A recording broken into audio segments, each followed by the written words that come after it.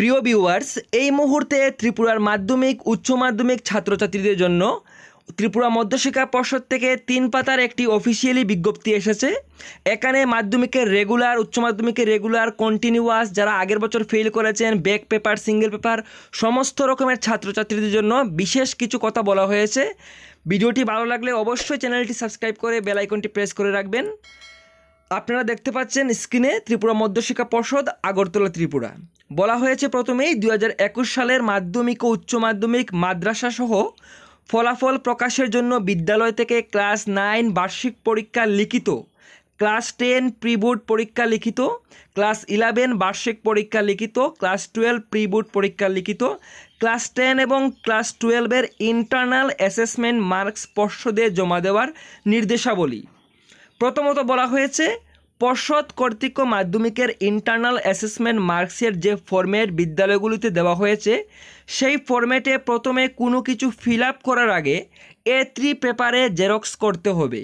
তারপর ফরম্যাটের অরিজিনাল কপিতে ক্লাস টেন প্রিবোর্ড পরীক্ষার লিখিত এবং ইন্টারনাল অ্যাসেসমেন্টের মার্কস নির্দিষ্ট করে রোল নম্বর এবং নামের সাথে নিম্নলিখিত বিষয়ভিত্তিক লিখতে হবে এবং জেরক্স কপিতে ক্লাস নাইনের বার্ষিক লিখিত পরীক্ষার নম্বর রুল নম্বর এবং নামের সাথে বিষয়ভিত্তিক লিখতে হবে।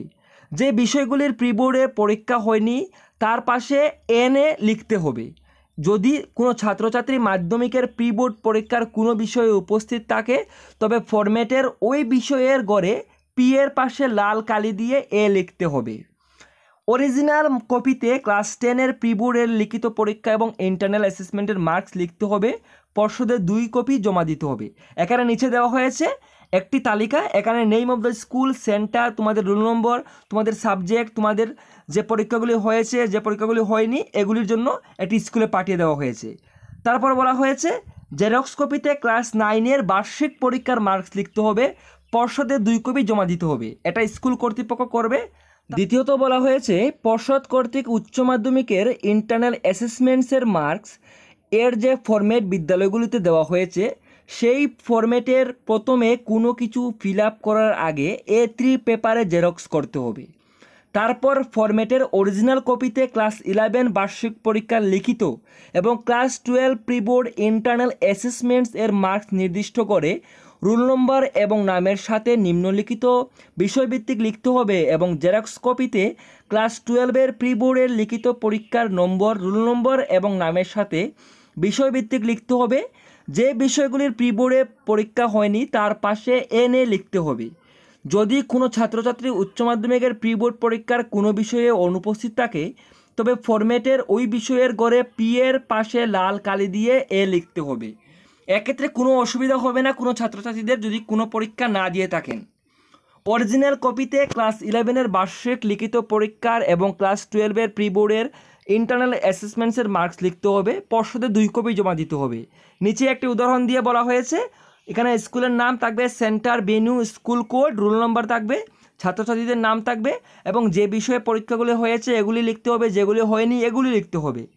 তারপর তৃতীয়ত কি বলা হয়েছে ক্লাস নাইন ও ক্লাস ইলেভেনের অ্যানুয়েলের এবং ক্লাস টেন ও ক্লাস টুয়েলভের প্রিবোর্ডের থিওরি পরীক্ষায় আশি থেকে সত্তর নম্বরের মধ্যে যা পেয়েছে তা নির্দিষ্ট ফরম্যাটে লিখতে হবে। চতুর্থত কি বলা হয়েছে? মাধ্যমিকের ইন্টারনাল অ্যাসেসমেন্ট এর নম্বর দেওয়ার ক্ষেত্রে যতগুলি বিষয়ের প্রিবোর্ড পরীক্ষা হয়েছে, আবার বলে রাখছি, মাধ্যমিকের ইন্টারনাল অ্যাসেসমেন্টের নম্বর দেওয়ার ক্ষেত্রে যতগুলি বিষয়ের প্রিবোর্ড পরীক্ষা হয়েছে তোমাদের, সেই বিষয়গুলির ক্ষেত্রে, কেবলমাত্র সেই বিষয়গুলির ক্ষেত্রে বিশ নম্বরের মধ্যে যা পেয়েছ তা লিখতে হবে। যে বিষয়গুলির প্রিবোর্ড পরীক্ষা হয়নি, যথা ইংরেজি ও অঙ্ক, সেই ক্ষেত্রে উইকলি টেস্ট এর পাঁচ নম্বর ও অ্যাসাইনমেন্টের পাঁচ নম্বর, অর্থাৎ দশ নম্বরের উপর যে যা পেয়েছ তা লিখতে হবে। পাঁচ নম্বরে কি বলা হয়েছে? বলা হয়েছে উচ্চ মাধ্যমিকের ইন্টারনাল অ্যাসেসমেন্টসের নম্বর দেওয়ার ক্ষেত্রে যতগুলি নন প্র্যাকটিক্যাল বেস সাবজেক্ট অর্থাৎ যেগুলির প্র্যাকটিক্যাল নেই এর প্রি বোর্ড পরীক্ষা হয়েছে। যতগুলি তোমাদের নন প্র্যাকটিক্যাল সাবজেক্ট আছে যেগুলির প্রিবোর্ড পরীক্ষা হয়েছে, সেই বিষয়গুলির ক্ষেত্রে বিশ নম্বরের মধ্যে যা পেয়েছে, সেই বিষয়গুলির ক্ষেত্রে বিশ নম্বরের মধ্যে যা পেয়েছে, তা লিখতে হবে। নন প্র্যাকটিক্যাল বেস যেই বিষয়গুলির প্রি বোর্ড পরীক্ষা হয়নি, যথা political science accountancy education business studies economics English mathematics সেই ক্ষেত্রে উইকলি টেস্টের পাঁচ নম্বর ও অ্যাসাইনমেন্টের পাঁচ নম্বর অর্থাৎ দশ নম্বরের পর যে যা পেয়েছে, তা লিখতে হবে। তো তোমরা বুঝতে পেরেছ অবশ্যই। ছয় নম্বরে বলা হয়েছে, উচ্চ মাধ্যমিকের প্রি বোর্ডের যে সকল প্র্যাকটিক্যাল বেস বিষয়ের পরীক্ষা হয়েছে, যথা কেমিস্ট্রি, জিওগ্রাফি ও বায়োলজি, যেগুলির প্র্যাকটিক্যাল পরীক্ষা হয়েছে, তাদের লিখিত পরীক্ষার প্রাপ্ত নম্বরের উপরে যে পাঁচ নম্বর দেওয়ার কথা, তাদের লিখিত পরীক্ষার প্রাপ্ত নম্বরের উপর যে পাঁচ নম্বর দেওয়ার কথা বিজ্ঞপ্তি হয়েছিল, তা নির্দিষ্ট ফরম্যাটে দিতে হবে না। এখানে বলে দেওয়া হয়েছে, তোমাদের পাঁচ নম্বর দেওয়ার কথা যে বিজ্ঞাপন দেওয়া হয়েছিল পূর্বে, এটা কিন্তু দিতে হবে না।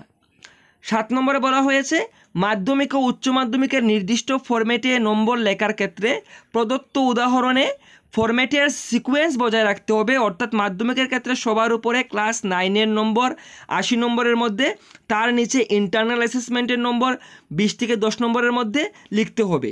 অনুরূপে উচ্চ মাধ্যমিকের ক্ষেত্রে সবার উপরে ক্লাস ইলেভেন থাকবে, এখানে আশি থেকে সত্তর নম্বরের মধ্যে, তার নিচে ইন্টারনাল অ্যাসেসমেন্টের নম্বর বিশ থেকে দশ নম্বরের মধ্যে লিখতে হবে। প্র্যাকটিক্যাল বেস বিষয় হলো ইন্টারনাল অ্যাসেসমেন্টসের কলামে কিছু লিখতে হবে না। প্র্যাকটিক্যাল বেস বিষয় হলে ইন্টারনাল অ্যাসেসমেন্টসের কলামে কিন্তু কিছু লিখতে হবে না। আট নম্বরে কি বলা হয়েছে? উচ্চ মাধ্যমিকের কোনো ছাত্রছাত্রী যদি ক্লাস ইলেভেনের বার্ষিক পরীক্ষায় অনুপস্থিত থাকে, অর্থাৎ আগে যতগুলি বলা হয়েছে, এগুলি স্কুল করবে, তোমাদের কিছু করতে হবে না। কিন্তু এক্ষেত্রে একটা ইম্পর্টেন্ট কথা বলেছে যে, উচ্চ মাধ্যমিকের কোনো ছাত্রছাত্রী যদি ক্লাস ইলেভেনের বার্ষিক পরীক্ষায় অনুপস্থিত থাকে, অর্থাৎ অ্যাবসেন্ট থাকে অ্যাবসেন্ট থাকলে সেই ক্ষেত্রে তার হাফ ইয়ারলি ও অন্যান্য পরীক্ষার গড় হিসাব করে আশি থেকে সত্তরের উপরে যা পেয়েছে, তা নির্দিষ্ট ফরম্যাটে দিতে হবে। এবার কোনো ছাত্রছাত্রী হয়তো অ্যানুয়াল পরীক্ষায় ইলেভেনে উপস্থিত হতে পারেননি যে কোনো অসুবিধার কারণে। এক্ষেত্রে কিন্তু তাকে ফেল করানো যাবে না। এক্ষেত্রে তাকে গড় নম্বর দিয়ে অবশ্যই পাঠাতে হবে। নয় নম্বরে কি বলা হয়েছে? বিদ্যালয়গুলি জেরক্স করার জন্য প্রয়োজনীয় অর্থ সেন্টার ফি থেকে ব্যয় করবে। দশ নম্বরে কি বলা হয়েছে? যারা continuing compartmental external external compartmental single subject equivalence category এবং ইম্প্রুভমেন্ট টেস্টের ক্যান্ডিডেটদের সম্পর্কে পরে বিজ্ঞাপিত করা হবে। এটি মোস্ট ইম্পর্টেন্ট যারা এক্সটার্নাল ক্যান্ডিডেট গত বছর ফেল করেছেন সিঙ্গেল সাবজেক্ট বিবি প্রত্যেক ছাত্রছাত্রীরা আমাকে অনবরত এস এম এস করছেন, দাদা, আমাদের কি হবে? তোমাদের উদ্দেশ্যে বলা হয়েছে, তোমাদের জন্য কিছুদিন পরে একটি বিজ্ঞপ্তি দেওয়া হবে। তবে এই মুহূর্তে আমি আপনাদের বলে রাখতে পারি, আপনাদের কোনো চিন্তা করতে হবে না, বোর্ড সেটা সিদ্ধান্ত নেবে। তোমাদেরও পরীক্ষা হবে না। যেহেতু মাধ্যমিক, উচ্চ মাধ্যমিক রেগুলারদের পরীক্ষা বাতিল হয়েছে, আমার বিশ্বাস তোমাদের পরীক্ষা হবে না। এবার আমরা অপেক্ষা করা ছাড়া আমাদের কাছে কোনো পথ নেই। তারপর এগারো নম্বরে বলা হয়েছে, মাধ্যমিকের নম্বর দিয়ে পূরণ করা ফরম্যাটগুলো বিদ্যালয় প্রদানের স্বাক্ষরের সাথে ইন্সপেক্টর অফ স্কুলসের স্বাক্ষর বাধ্যতামূলক। উচ্চ মাধ্যমিকের নম্বর দিয়ে পূরণ করা ফরম্যাটগুলো বিদ্যালয় প্রদানের স্বাক্ষরের সাথে ডিস্ট্রিক্ট এডুকেশন অফিসারের স্বাক্ষর বাধ্যতামূলক। পর্ষদ ইন্সপেক্টর অফ স্কুলস এবং ডিস্ট্রিক্ট এডুকেশন অফিসারের স্বাক্ষর ব্যতীত কোনো পূরণ করা ফরম্যাট গ্রহণ করবে না। এক্ষেত্রে ইম্পর্টেন্ট এটা তোমাদের মাধ্যমিক, উচ্চ মাধ্যমিকের মার্কস নিয়ে যেন কোনো অসুবিধা সৃষ্টি না হয়, কোনো জালিয়াতি ব্যবস্থা যাতে না হয়, তার জন্য কিন্তু এই পদক্ষেপ গ্রহণ করা হয়েছে। এটা খুব দরকার ছিল। তারপর বলা হয়েছে, বিদ্যালয় কর্তৃক পূরণ করা ফরম্যাট আঠাইশ ছয় দুই হাজার একুশ থেকে দুই সাত দুই হাজার একুশ তারিখের মধ্যে জমা দিতে হবে। উক্ত তারিখের পর পর্ষদ আর কোনো ফরম্যাট জমা রাখবে না এবং উক্ত বিদ্যালয়ের পরীক্ষার্থীদের ফল প্রকাশ হবে না। ফরম্যাটের নম্বরগুলো English numerals one two three এ লিখতে হবে। তারপর চোদ্দ নম্বরে যে ইম্পর্টেন্ট আরেকটি কথা বলা হয়েছে, উচ্চ মাধ্যমিকের যে সকল রেগুলার পরীক্ষার্থী ত্রিপুরা মধ্যশিক্ষা পর্ষদ ব্যতীত অন্য বোর্ড থেকে মাধ্যমিক পাশ করেছে তাদের মাধ্যমিকের পাস মার্কশিট এর ফটোকপি ফরম্যাটের সাথে জমা দিতে হবে। পূরণ করা নম্বর পর্ষদে একবার জমা দেওয়ার পর কোনো অবস্থাতেই আর পরিবর্তন করা যাবে না। ডক্টর দুলাল দে সচিব, ত্রিপুরা মধ্যশিক্ষা পর্ষদ। তো খুব ইম্পর্টেন্ট একটি বিজ্ঞপ্তি ছিল ত্রিপুরা মধ্যশিক্ষা পর্ষদের পক্ষ থেকে। এর সব কিছুই কিন্তু স্কুলের পক্ষ থেকে করা হবে। আমি আবারও বলছি, তোমাদের কোনো কিছু করতে হবে না। তবে যারা অন্য বোর্ড থেকে মাধ্যমিক পাশ করেছ, তোমাদের অবশ্যই ফটোকপি স্কুলে জমা দিতে হবে মার্কশিটের। এছাড়া সমস্ত কিছু কিন্তু স্কুল করবে। যারা কম্পার্টমেন্টাল যারা ব্যাগ ছাত্রছাত্রী, যারা আগের বছর ফেল করেছেন, তাদের উদ্দেশ্যে বলছি, তোমাদের নতুন নোটিফিকেশন আসবে। এবং আমি প্রত্যেক ছাত্রছাত্রীদের বলছি, যারা রেগুলার ক্যান্ডিডেট তোমাদের মার্কসের কত পার্সেন্ট নাইনের থেকে নেওয়া হবে, কত পার্সেন্ট ইলেভেনের থেকে নেওয়া হবে, এগুলি কিন্তু এখনও ঠিক করা হয়নি।